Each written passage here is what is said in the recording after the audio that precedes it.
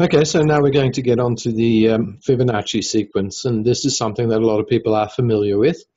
So um, that might make it easier for them to understand. So, what do you know about the Fibonacci sequence? That it occurs everywhere in nature. That um, um the man who came up with it first, and I forget his name, um, got the sequence out of scriptures, um, seemed to be repetitive patterns in scriptures. And then he realized that there are repetitive patterns in nature. Um, that's about all I sort of can think of on the fly.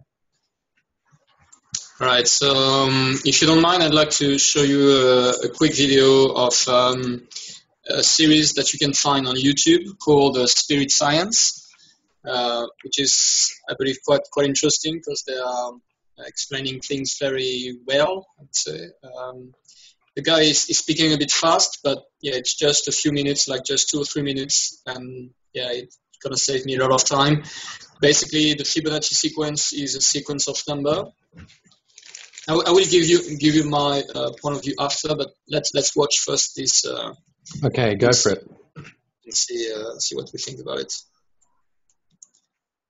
Uh, okay, so I'm showing the screen now. Okay, here we go. Can you see it? All right. Phi, also known as the golden ratio or golden mean, is a very simple relationship. If you had a rod and were going to put a mark on it, only two places would mark the phi ratio, which is here or here.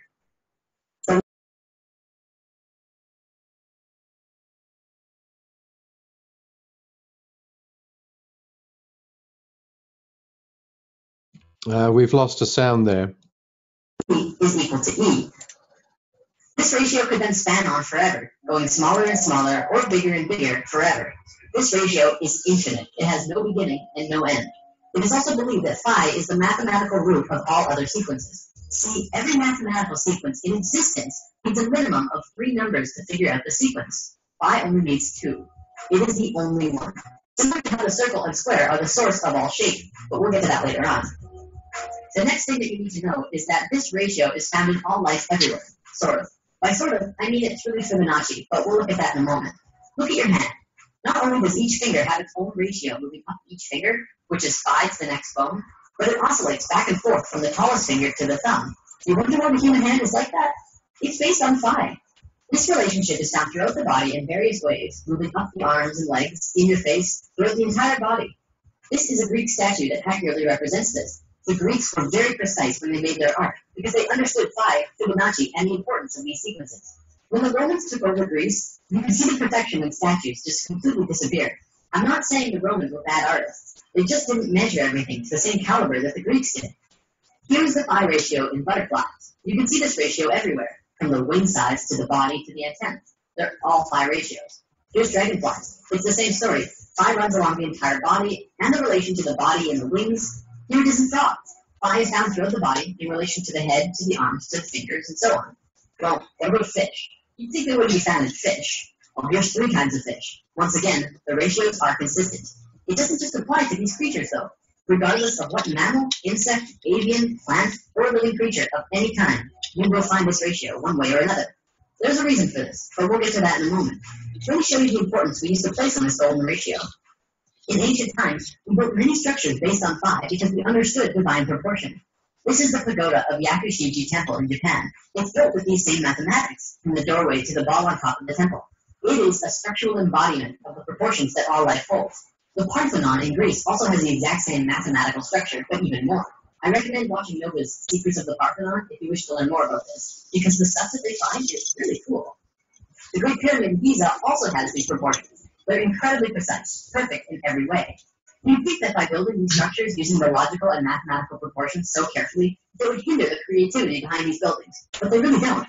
In fact, a left brain understanding all of this can even enhance creativity if used correctly. It makes me wonder about all of the world famous buildings of the modern world. Could phi be a large factor in what makes them stand out? Let's move on to our next sequence, which is called Fibonacci. Now, the Fibonacci sequence is life's way of creating the golden mean. Allow me to explain.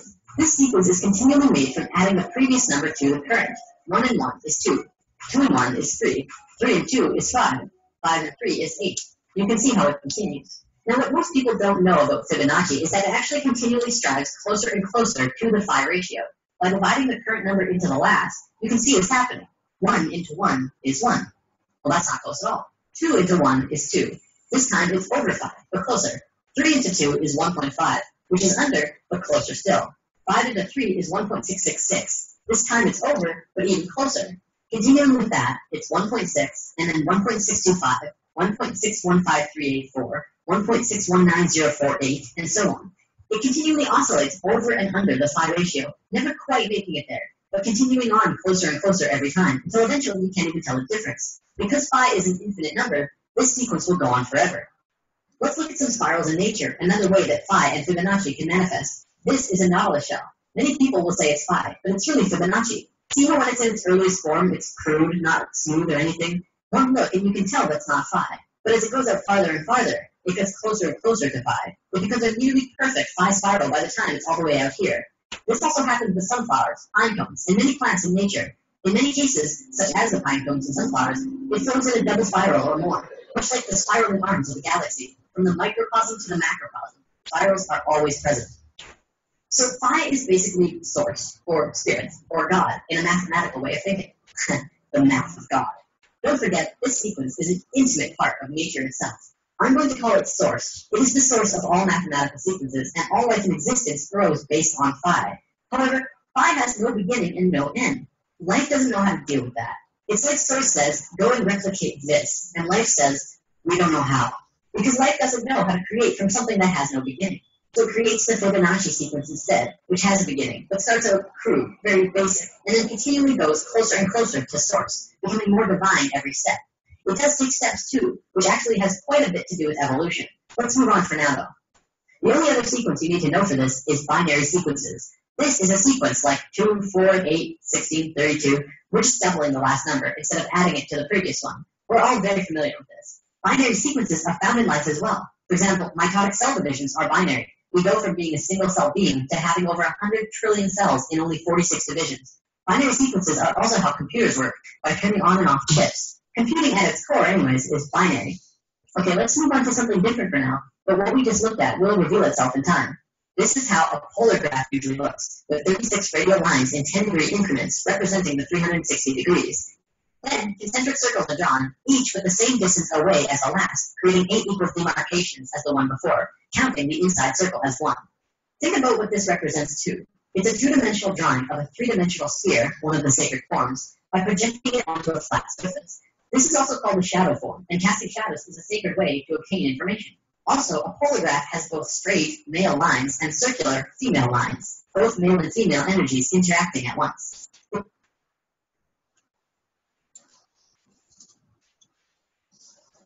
Right. So uh, it's it's quite interesting. This this episode is very, very interesting and and show uh, easily how um, the two the two energy are working together and how the Fibonacci sequence is actually everywhere in nature and represent this kind of male and female energy, like the curvature and the straight line. Yes. Yep. As we were seeing before in your diagrams. Yes. So um, I'd like now to show you another uh, another video that now will show you the number nine, the number Fibonacci as uh, another sequence. So just just to show you quickly um, uh, what what's what's exactly made the Fibonacci sequence. Um, yeah, here you. So can you see the, the picture now? Yes, I can. All right, so on this picture, as you can see, um, this is the perfect representation of Fibonacci. So Fibonacci start with a, a sequence of number based on 1, 1, 2, 3, 5, 8, uh, 8 uh, uh, 13, 21, 34, 55, 89, and 144, as you can see here. So why this sequence is based on 1, 1, uh, 1, 1, 2, 3, 5, 8, and so on.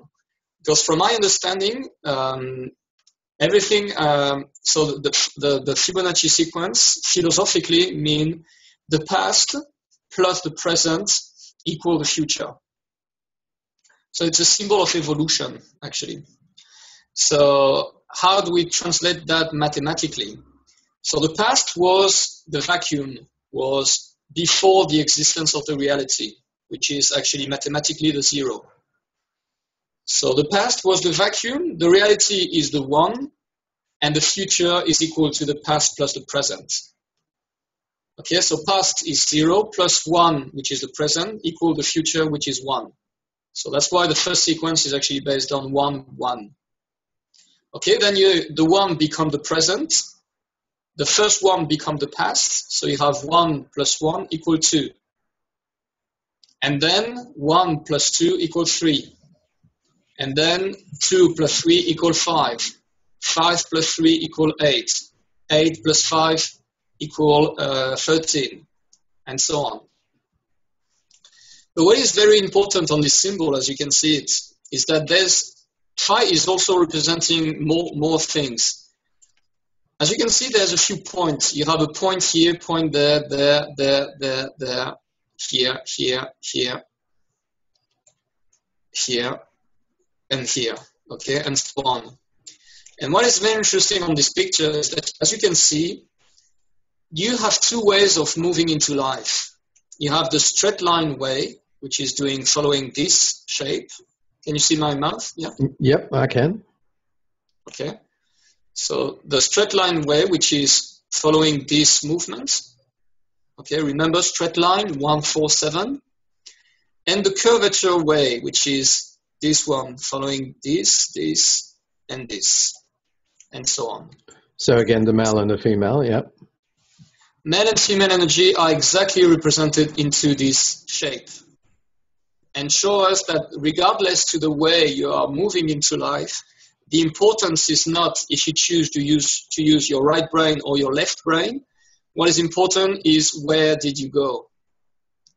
Did you, you did you go through those points, or did you miss out your your way in your life? Okay, so that's why for me it was very important to understand. When I understood that, I was like, wow, that's very powerful to see how the same symbol is actually representing the male energy, straight line, or the female energy. Okay, so now let's see where the Fibonacci sequence happened.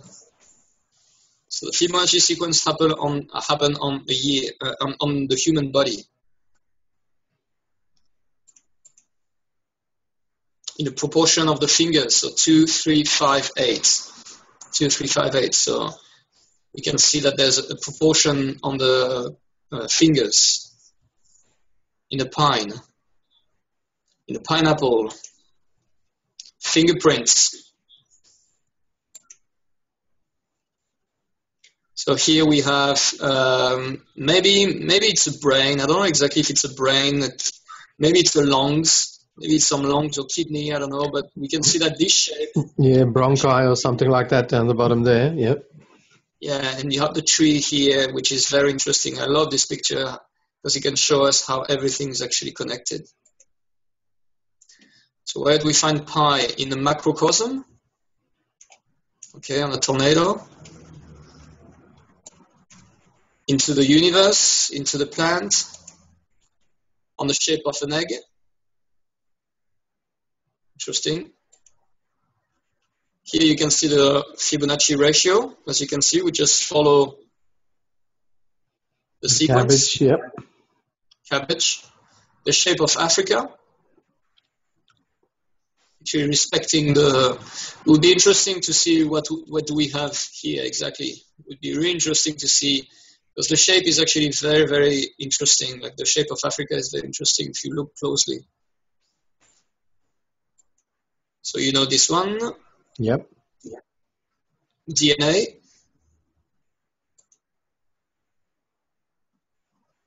The wave. The body of uh, features.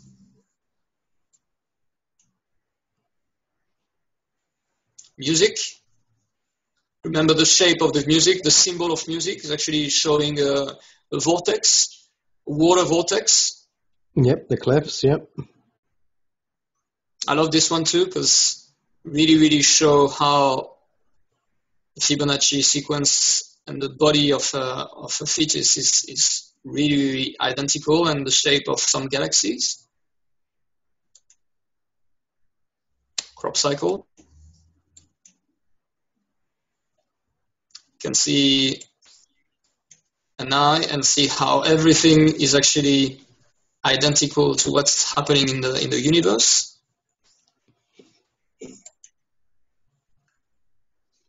And see how the body is actually generating uh, a magnetic field too.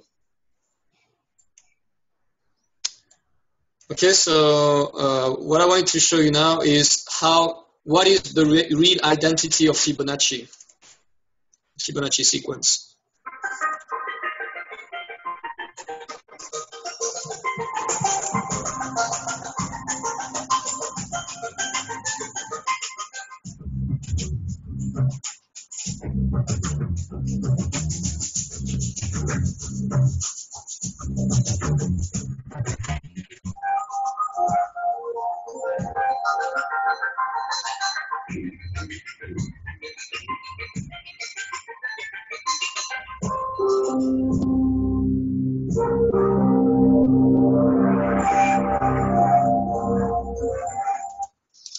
So now we're going to reduce the base uh, number of Fibonacci sequence. So 1, 1, 2, 3, 5, 8.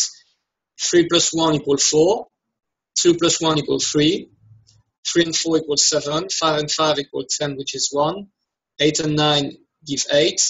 And 144 give 9. Still following?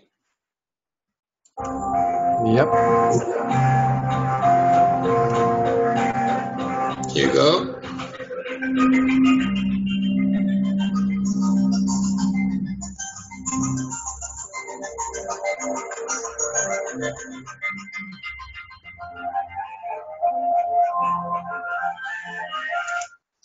So yeah, if we continue the sequence after, we find exactly uh, a continuum.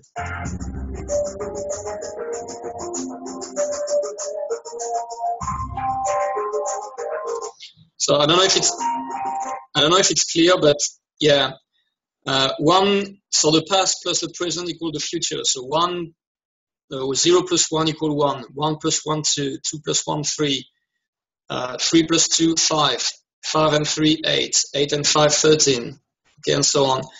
89 and 144 equal 233 GC. 233 and 144 equal 377. Okay? 377 plus 233 gives 610. So we continue the Fibonacci sequence and we're actually going to reduce those numbers. So as we can see here, 1, 1, 2, 3, 5, 8, 3 plus 1, 4, 2 plus 1, 3, 3 and 4, 7, 5 and 5, 1, 8 and 9, 8. And then we're going to follow it. So 3 and 3, uh, 6 and 2, 8. So 8.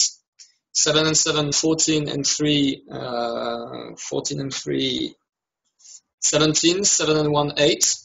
Okay, 6 and 1, 7, and so on. So we're going to, to reduce all the, the, the Fibonacci sequence and see what's happening.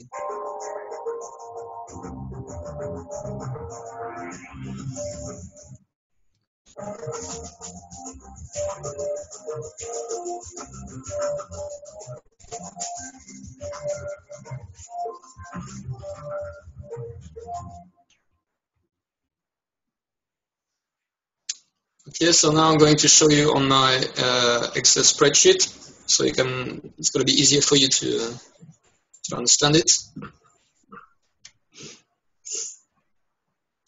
So, yeah. All right, so here, so on, in white, you have the sequence 1, 1, 2, 3, 5, 8, 13, 21, 34, 55, 89, 144.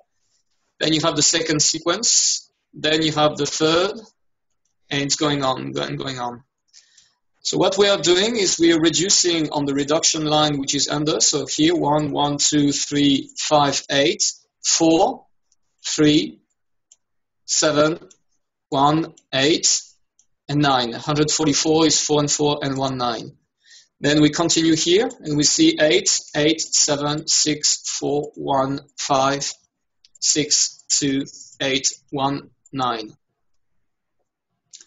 Okay, and, and if we addition the first reduction with the second reduction, we find 9 everywhere.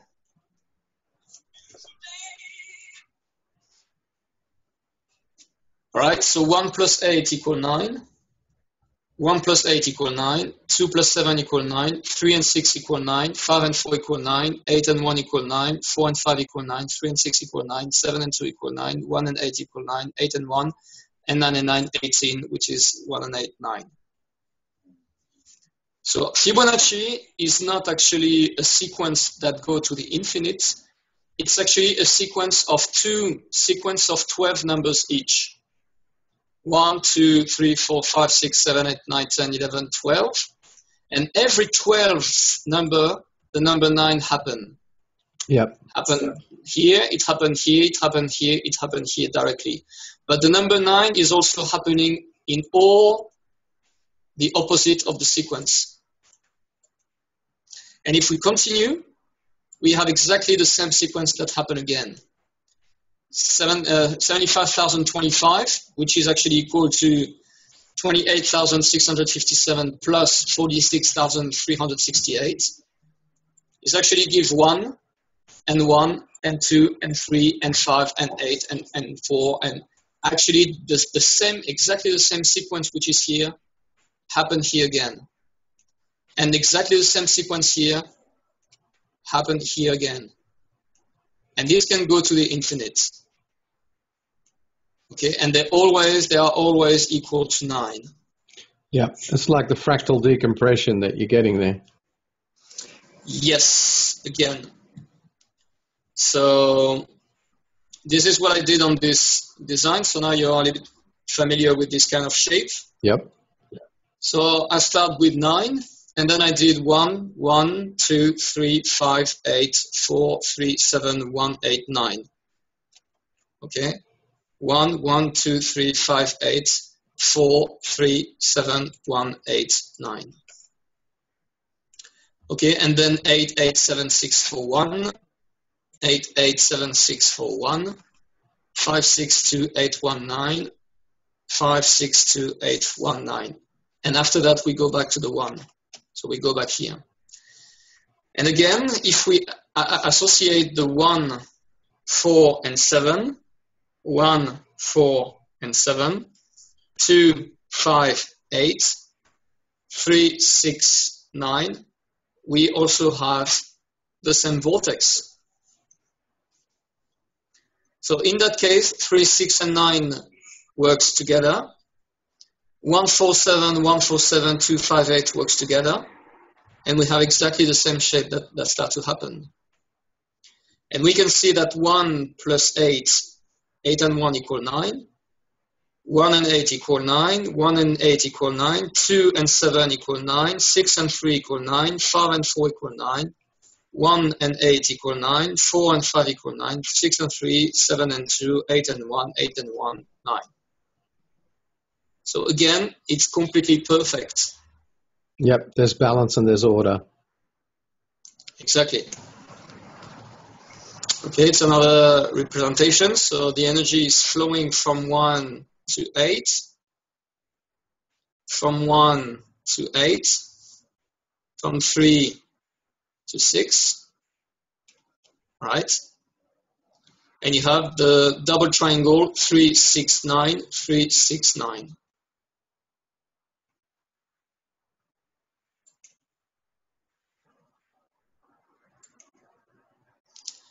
So I just wanted to see what's happening if we connect the numbers together. So 1 and 1, 2, 1 and 8, 9, 2 and 2, 4, 3 and 6, 9, 5 and 5, 1, 8 and 1, 9, 4 and 4, uh, 8, 3 and 6, 9. So you have 2, 9, 4, 9, 1, 9, 9, 9, 8, 9, 5, 9, 7, 9.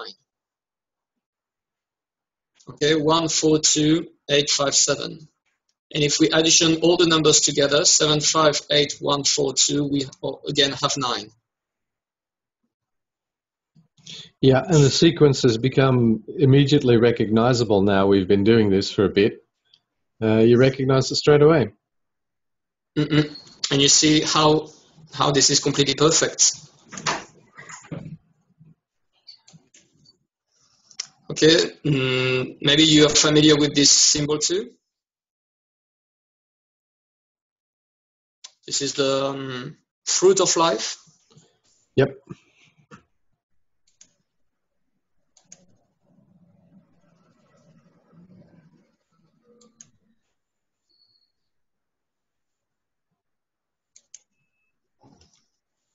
Okay, it's another symbol, another way to see the yin and yang. Yep.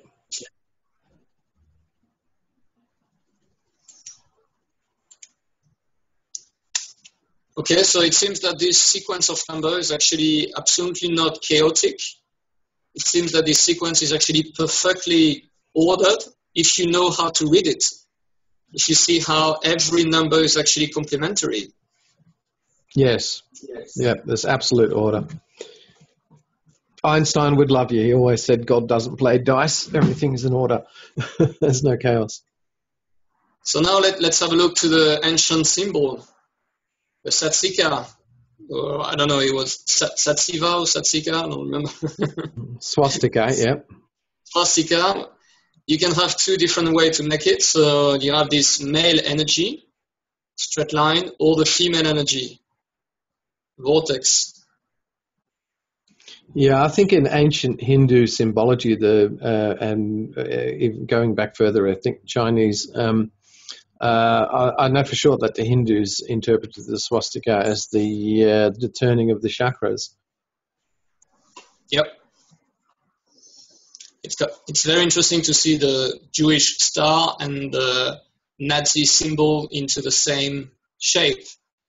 I believe that Hitler knew about about what's going on about this energy and what this vortex energy is working because the Nazi worked on anti-gravity and they worked on, on the way to control energy and generate free energy.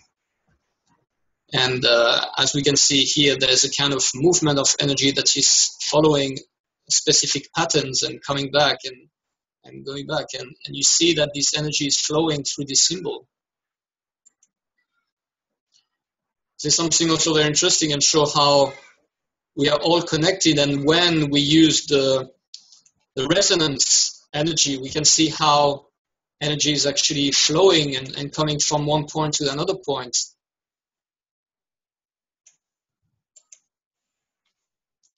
Where else do we have the vortex in water? The magnetic field of the Earth, shape of the cosmos, tornado, twister, and the waves. So it seems that this vortex movement is actually everywhere in nature. Including in time, too. You know, times yes. we consider time linear like we consider our maths linear, and that's also a wrong descriptor because time is also spiral. Time is also fractal. Yes, and now I'd like to show you where else do we find the um, golden number.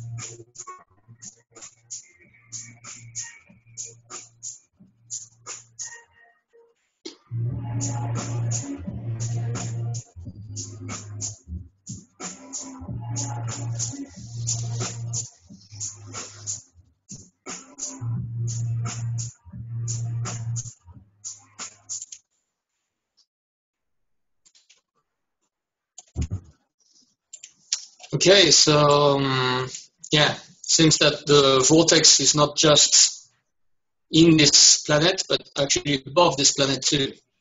Yep, and there's that movement again too. It's all in movement. It's all a movement. It's all movement, and you, you see what they said in the beginning. The way we see the the planet turning around the sun, we just see them turning like this, but we just forget that the sun is moving, so we don't Mhm. see the vortex.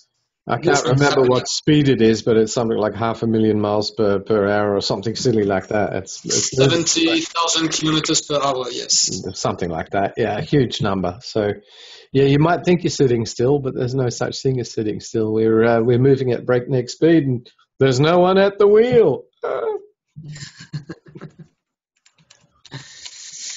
Okay, so um, do you have any question about the the Fibonacci sequence, or is it making sense now? Do you, yeah, that it's- making sense to me, and it's like a refresher of things that I've that I've seen a long time ago.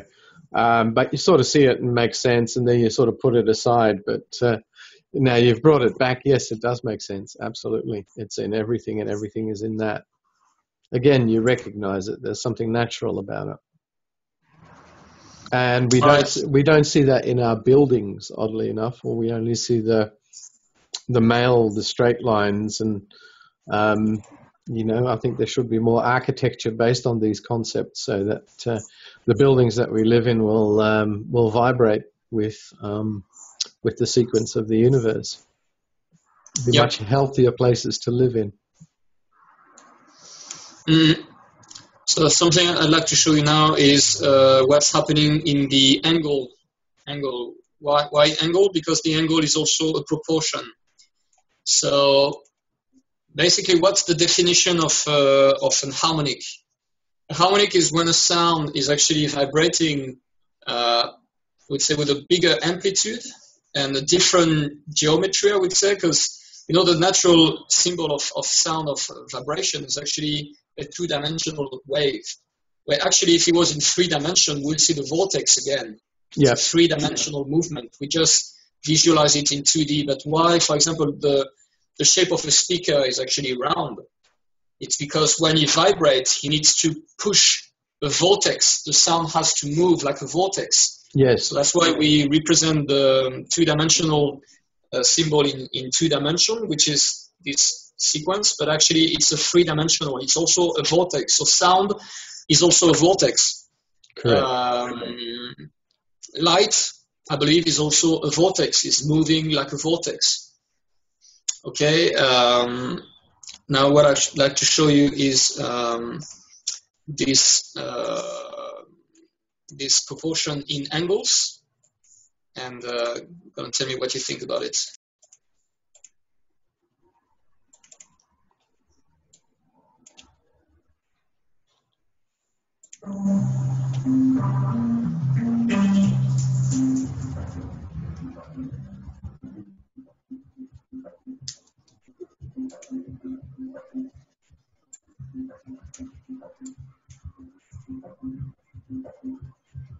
Thank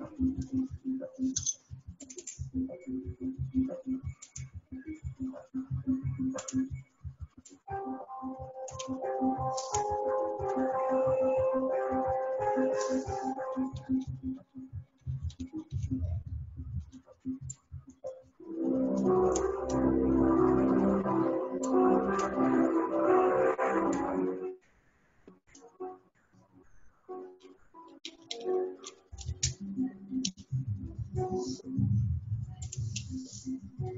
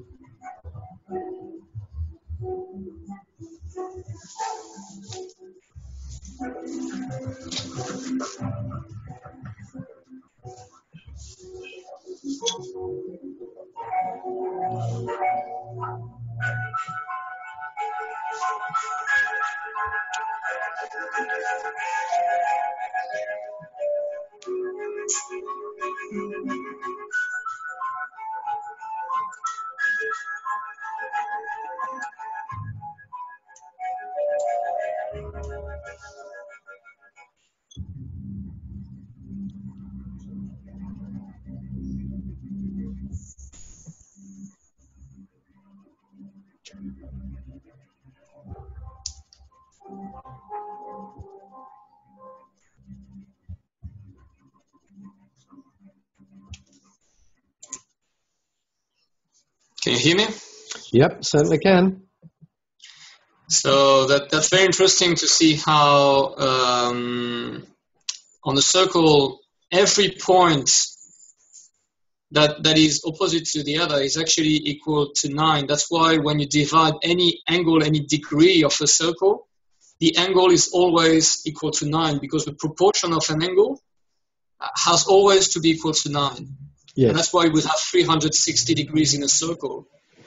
3 plus 6 equal 9.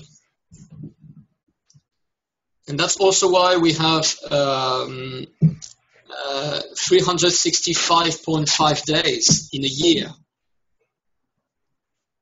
You have exactly 364.5 days in a year because every four years we have 365 days. Remember, 364.5 is actually 3 plus 6 equal 9, and 4 plus 5 equal 9 again. So it's not just by chance. All that is actually quite well organized, and everything has to be equal to 9. As you can see on this circle, every point has to be equal to, has to be the exact inverse opposite of the other point. And both of them has to be equal to 9 when you addition them. Yep. That's also why when you have um, what is it like a, a, square into a triangle into into a round. Like here it is. 90 plus 90 plus 90 equals 360 so you have exactly the same amount of angle into a square that you have into a round. Yep. That's interesting that you have 360 degree in a square and 360 degrees around. Why? Because a square all around are actually two expressions of the same reality. One is the male energy, and the other one is the female energy. But the proportion are always equal to the same 90, 90, 90, 90. And you can have four, uh, four, four times 90 degrees you divide your circle by four. 90, 90, 90, 90. Interesting, no? Yes, absolutely recurrent again. Okay, so the circle and the square have exactly the same proportion. All right. So what I wanted to show you now, um, this one.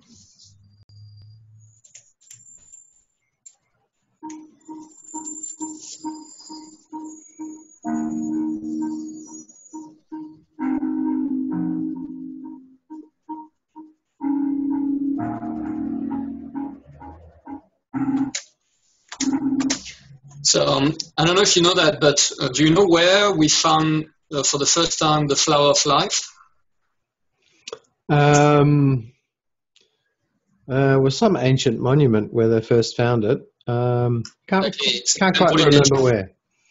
Yeah, it's a temple in Egypt, and actually, what they discovered that this flower of life was actually laser burned into a stone which has been dated to be more than 20,000 years old. And that's why actually the Egyptologist uh, spent time to understand what's going on because laser burn into the atomic structure of the granite, it's something we can't even do today. So that's why they really pay attention to it and the symbol. And, and now I'd like to show you one of the explanation of what is uh, the flower of life.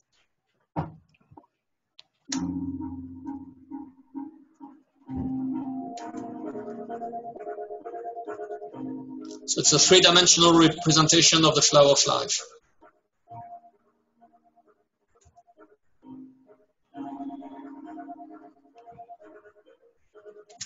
So as you can see, you have the one, two, four, eight, seven, five, three on the top and 6 underneath.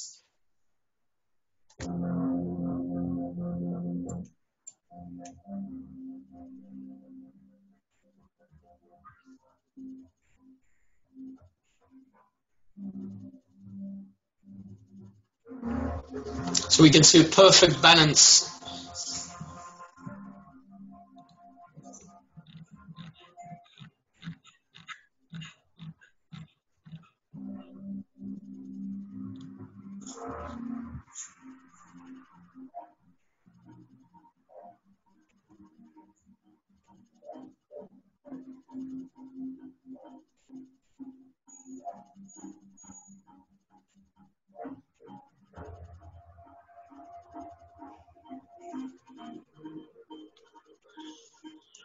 Nine is everywhere.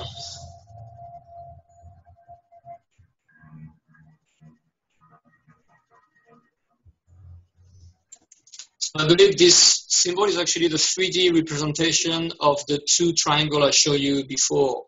Yep.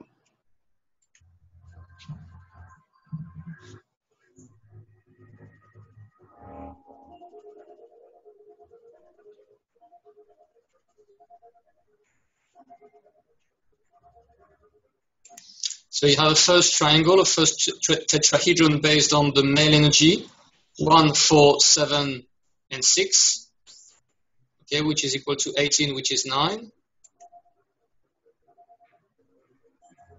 And then you have the female, two, five, eight plus 3, which is equal to 9. Yep. Okay, 2 plus 5 plus 8. So 8 and 5, uh, 13, uh, uh 14, 14 and 2, uh, 16. No, sorry, 8, uh, uh, 13, sorry, 8 and 5, 13, 13 and 2, 15, 5 and 1, 6, 6 and 3, 9. Yep. And this is what we also know as the Merkaba double triangle just composing the human body and and more things. That male equivalent of the the flower of life or the torus, yeah. Yeah. Have you ever seen this uh, video before? Well, not outside myself, but I do see it within myself sometimes in meditation or in moments, you know. Oh, you mean the the Merkaba? You mean the Merkaba? You feel it in yourself. Yeah, well, well, both, both the shapes, because one's the male and the other's the female. Yes. Yeah. Right, and one more video I wanted to show you is this one, which is actually representing how our universe is currently working. So it's an expansion until arriving to the point of uh, extension, the maximum extension, before going back to the compression.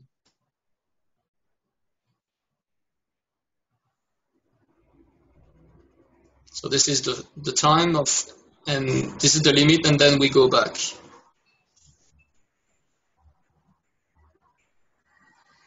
Yep, fractal, fractal expansion and, and compression.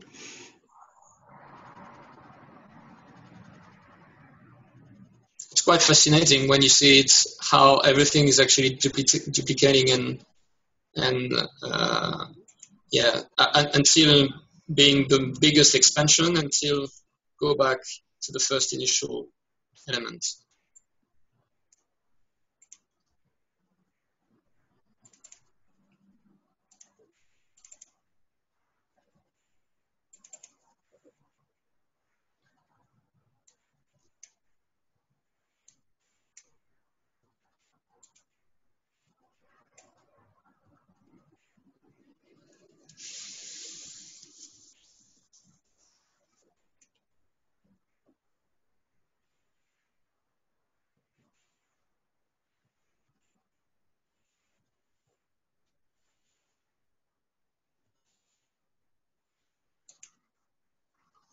Again, perfect order. Perfect order, yes. So, yeah, we can, I think, stop now and, and see the third part, which going to speak about music and and uh, cosmologic uh, organization of the universe. What do you think about it? Yep, I think we'll leave this one here for now. And music is definitely going to be interesting because I think that um, uh, the music we're listening to in A440 tuning is really um, putting us in a disharmonious. Um, it's disharmonious to the, the resonance of the field, to the resonance of um, the electromagnetics of the uh, universe. And uh, we really have to uh, go back to the Pythagorean tuning in order for our, our emotions create, uh, our emotions, a uh, great creator of our reality. And we have to go back to um, getting our emotions to resonate because music is emotion and motion. and um, and we have to go back and we have to resonate with the field again in order to repair ourselves and then enhance our world uh, we need those new descriptors and we need to generate the right emotion, which comes from the right music and the right tuning. And we need obviously the new languages of maths, vortex maths, and uh, and sacred geometry that we're bringing together. So this has been a really good uh, sequence, and we'll stop it here. Thank you, Roman. Thank you.